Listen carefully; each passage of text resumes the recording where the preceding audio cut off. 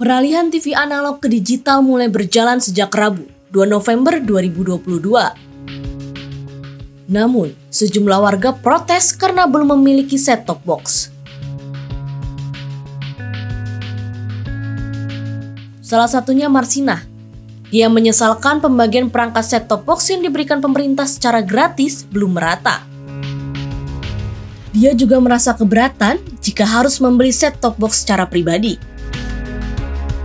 Marsina mengaku harga set-top box masih terlalu mahal bagi dirinya yang berprofesi sebagai pedagang kecil. Nggak berfungsi, biasanya dapat, semua ini kagak dapat. Pada mati, semua. Apa aja bu yang dapat bu, sama yang nggak dapat? Tadi apa sih? Pokoknya Indosiar nggak dapat, RCTP kagak dapat, RCTI kagak dapat, cuma satu doang ya. Apa itu tadi nggak ngeliat tuh? Kecewa kasih bu sebenarnya bu. Kecewa lah, biasa dapat semua ini kagak dapat, kagak bisa nonton. Sudah ada ada bantuan nggak bu, bu, eh, berupa set top box gitu bu? Saya nggak, Belum belum dapat. dapat ya.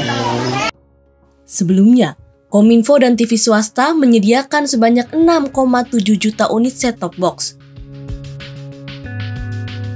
Namun, diakui masih terdapat kegagalan penyaluran karena sejumlah kendala di lapangan.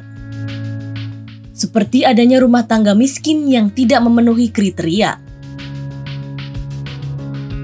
Guna mengatasi kendala ini, Kominfo membentuk posko respon cepat penanganan bantuan set-top box di sejumlah wilayah Jabodetabek. Melalui fasilitas ini, rumah tangga miskin yang belum kebagian dapat mengajukan set-top box gratis secara mandiri.